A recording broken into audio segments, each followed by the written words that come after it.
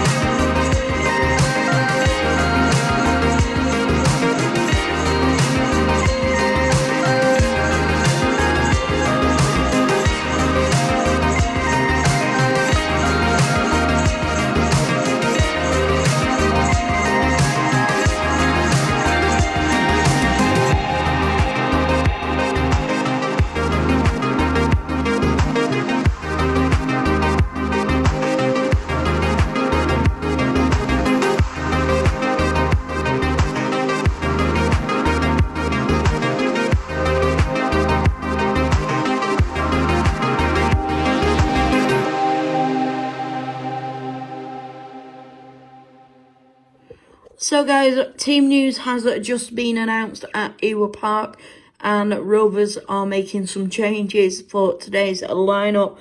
So, this is how we are lining up, and also the subs, and there is Preston North End's team news as well, and the subs as well, and then the referee.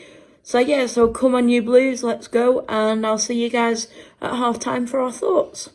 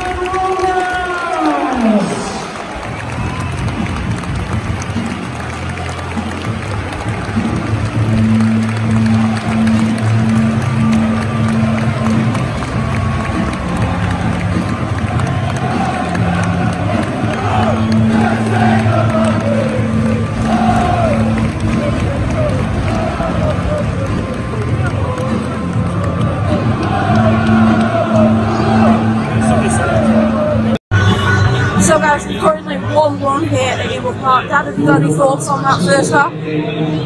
Entertaining first half. Uh, we got a great start. We did go one Armstrong. Yeah, the injury from Evans is obviously a worry. We held the game in seven minutes. And that took us out of the stride a little bit. Preston scored uh, the first attack in the game. Yeah. You've got to give it to him, it's a great goal, but possibly Evans might have been in that position at the end of the area, to edge of the area to up where that free ball dropped to. But anyway, that's by the by. And after that, I thought the second round, not many chances, but the Preston moved up quite sharp up front. But uh, well, I thought we played all right. Uh, no major chances, but there again, no major worries. I think we pretty much controlled it up until half time. Out the second half, equally positive. There's no reason why we can't get a result against this lot. What's what are you going to say your score prediction for the second half?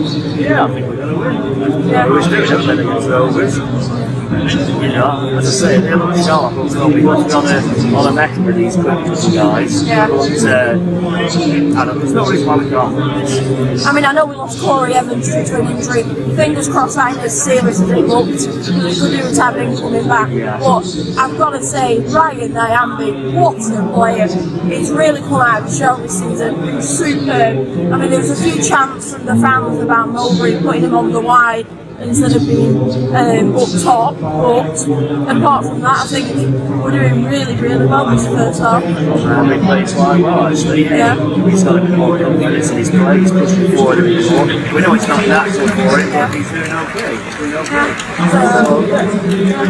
Uh, not a brilliant first half, but I, I thought we edged it, yeah. Yeah, I mean, score prediction wise, I think I'm going to say 3 1. I think it's going to be a good game, second half. There's certainly goals in it, there's no doubt about that. And as I say, there's no reason why we can't win this one. Alright, so I'll see you guys in the second half.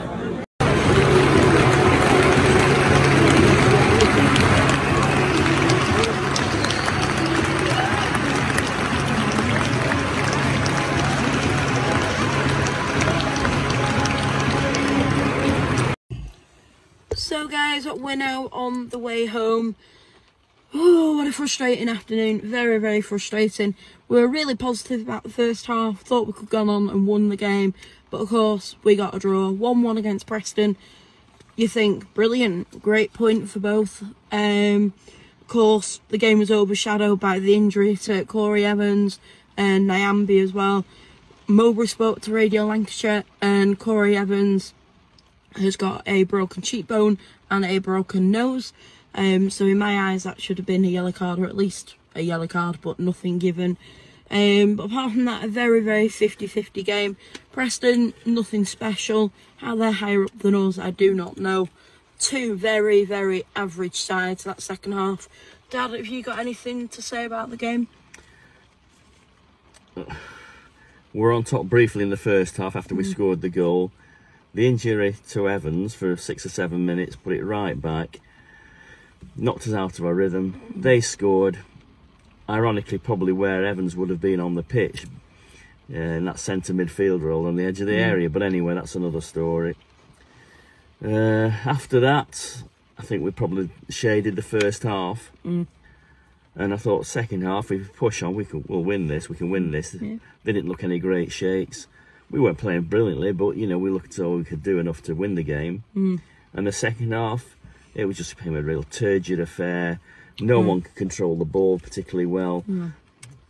Preston used gamesmanship and tactics, and they pushed the boundaries of the laws of the game. One or two names I'm not going to mention who are just horrible individuals. But that's something Rovers haven't got. Well, exactly right. And if the boot was on the other fit foot, you might be enjoying it yourself. But Yeah. anyway, that's another day. But uh, we had the better chances. Preston will be happy for a draw. They certainly didn't deserve any more than that. Mm. We we edged it, shaded it. On another day, we could have won that. But having said that, we didn't really create a, a good, Mm. clear cut chance in the second half to win the game. Pity, really, because we could have nicked it. But Settle for a point. yeah, settle for a point. Yeah. I mean, on that note as well, the referee, how the hell they get jobs, I do not know. What game he was watching, what game he was at, was absolutely diabolical. And I think that as well spoiled the game. Well, that's the frustrating thing about it. You can see to an extent what's going on. Mm. And when Pearson's throwing himself over, pretending to be hurt by Gallagher, the referee doesn't even talk to Gallagher. Talks to our man though. No, he didn't talk to Gallagher at all. Didn't punish him at all. So what's he gone down for? And he didn't talk to Pearson. The guy should have been booked for simulation, whatever it was, Yeah. cheating. Yeah. Anyway, like I say, horrible individual, horrible Yeah. team. But a point on the board. That's about it, yeah. So yeah, so that is it for today's match day video. Of course, if you did like it, then please smash that like button. Don't forget to comment, don't forget to subscribe, and watch out for the Rovers Ladies vlog, which is coming tomorrow. Hopefully, weather permitting, because the weather here in Lancashire is very miserable today. So without further ado, I we shall see you tomorrow. So bye, guys. Tony, are you thinking that you should have got all three there after that? Well, I think on the balance of play, it wouldn't have been an injustice if we got all three. I think um, it was a typical derby game, right from the first whistle to the last. Nobody gave an inch, I don't think. A lot of just turn them round, play forward, a lot of one-touch forward passing, you know, looking for errors, mistake, almost territorial at times. Um, of can we play in their half? Can we play in their half? Um, I think on the balance, we had the better chances. I think we threatened their goal more. I think they scored a wonder goal. Um, and yet it was an attritional game, I would say, as you might expect, a local derby match. I think we were helped, obviously, with Evans going off so so early, Nyambi coming off so early in the second half, but um, on the back of Dack obviously not being available for us, it's it's um, the positives for me is that we went toe to toe. I, I I say I like Preston. I think I respect Preston's nature of the way they play. I think they're very similar to us. They've got a camaraderie and a collective spirit amongst their team, which makes them difficult to play against. And, and for us, I'm not sure how many games that's unbeaten at home now. I, I can only think the opening day and then Luton, I think. Apart from that, I'm not sure. You know, teams are finding it really hard to play against us. I think ultimately we would have, on the balance of it, deserved to win today, but it wasn't to be. Um, put the point in the bag, move on to the next one, and keep going. The first half, you looked like you were on top. You got that great early goal and a good finish from, from Adam Armstrong. And then the second half became a bit attritional, didn't it? A little bit of a battle. Yeah, from the first minute it was a bit of a battle, to be honest. But um, as I say, I think, with total respect, it's not for me to tell you how Preston play, but that, that's what they are. As I said you, they, they've got a collective spirit, as we've got a collective spirit. And sometimes when two teams who who might not have the best players in the league, might not be able to control football matches with the ball for 90 minutes, you know you're in a football match when you play against either Blackburn Rovers or Preston North End. And I think today we both went toe to toe, and it was a tight game. I, I felt ultimately on the balance on shots on target, on efforts, on territory around their box. I think we probably would have, if somebody was going to win it, it would have been us. But um, ultimately, we we uh, didn't get over the line. In terms of chances created, though, you- you're pretty pleased with that. The second half, you two or three towards the end there, that you might have just nicked it. Yeah, we hit the post and we had him Armstrong bent one of them.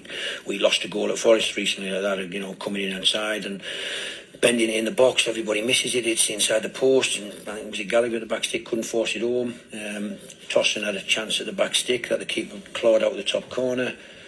remember Holtby early on having a great strike that the keeper saved. You know, we had a lot of efforts to go today. I don't know how many it was, but it was it was probably warranted more than one goal. And um, but credit to them, as I say, it was a it was a derby game played in weather of fitting of a derby match in the northwest of England, and um, we share the spoils and we move on.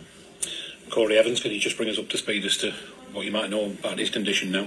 Well, he's gone to hospital. The doctor said in his his first impression was a broken nose and possibly cheekbone.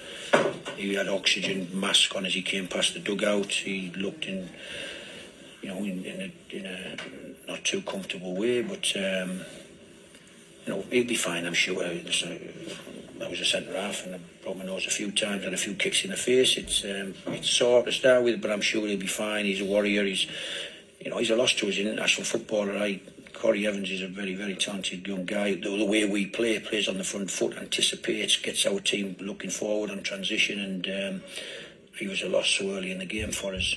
Um, Nyambi was a loss because Nyambi for staff I thought was a massive threat to them down the right side, and um, yeah, and as I say, I'll buy that to Dack. It's you know it's not easy for us, but they're still fighting and showing that they are giving everything for the club.